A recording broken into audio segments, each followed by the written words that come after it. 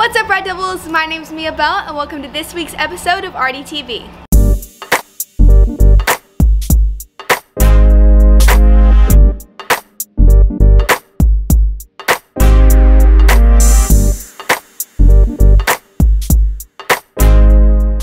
Now time for this week's sports segment with Mallory.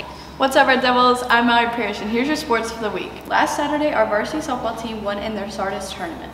On Tuesday, both of our softball teams played against Auburn at home. Our JV came out victorious, winning 4-3, and our varsity came out victorious, winning 12-0 in the fourth inning. On Wednesday, our varsity baseball team played away at Smiths Station, winning 4-3. Yesterday, they played a doubleheader against Smiths at home. Great job to all our Red Devil athletes for their success over the week. This year, Earth Day is Thursday, April 22nd. Let's learn some fun facts. So in the 1970s, Earth Day started, and after 52 years, the message is still the same. Do what you can to protect this Earth planet that we live on. And it's a day for us all to come together as a world and do its best for our planet. Uh, and some ways that you can do that is by recycling or growing your own food, picking up litter. So this Earth Day, I encourage you to go outside and do something nice for Mother Earth. The first Earth Day was classified in 1970, founded by Senator Gaylord Nelson. Recycling is important because it reduces waste sent to landfills and properties. It also conserves energy and natural resources. So let's make sure we recycle and pick up litter receipts. This week's sports spotlight is baseball. My name is Landon Russell. I play third pitch. Our season's going pretty well. Uh, we're playing really good as a team. Feeling pretty good about going in there, but 24 to 8. Uh, probably Smiths Station. Uh, we already beat Auburn, so and this is like a big rivalry game for us, so it's kind of personal. Uh, I think we got a pretty good chance to make it in the playoffs. We, if to win our area, we got to win both games. But if we uh, split, then we just make it in the playoffs. So I feel like we got a pretty good chance. Really, just visualize, uh, visualize, and yeah, that's pretty much it. Visualize. Now, time for some Earth Day trivia. New York. Spain. Who is Kentucky? New York. New York City. Boston, Massachusetts.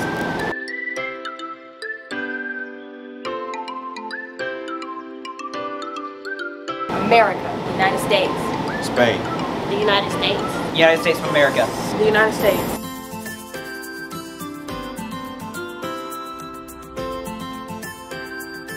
Trees. Plants. Oxygen.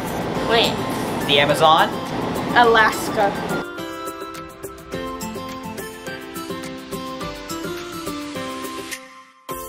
We love our Earth. Earth is the best. Our big earth is cleaning, cleaning. A better Earth tomorrow. Uh, Earth Anthem. Earth Day. We rock. Yeah. Wow. Ooh.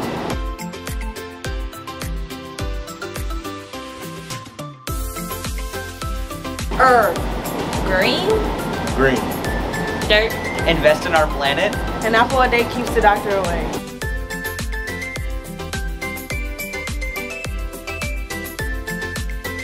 April 22nd. April 22nd. April 22nd. January 28th. The 22nd of April. April 22nd.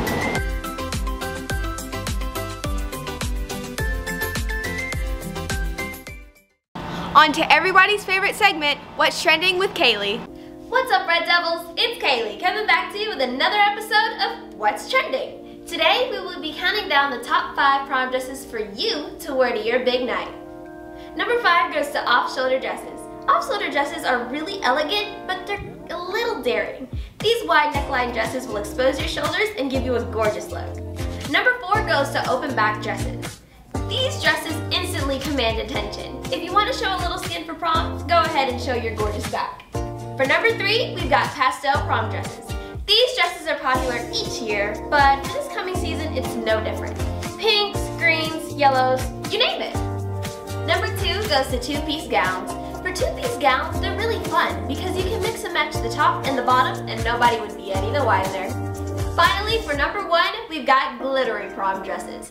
If you're going for a celebrity vibe for prom, these dresses are a must. As you walk in, the lights will bounce straight off you. That's all the time we've got, Red Devils. Have a good time at prom. I'll see you next time on another episode of What's Trending. Prom will be held this Saturday. This year's theme is the night under the stars. Remember to have fun and be safe. And as always, have a great Red Devil Day.